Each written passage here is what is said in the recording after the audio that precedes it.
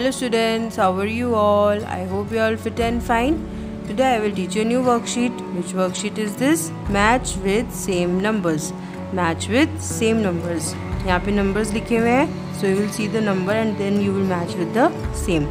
Okay, let's start. First is 12. 1 to 12. So we match 12 with another 12 like this. Next number is 9 so we'll match 9 with another 9 like this.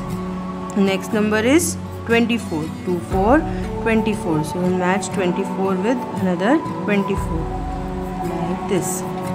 Next number is 30 3 0 30 so we'll match 30 with another 30 like this.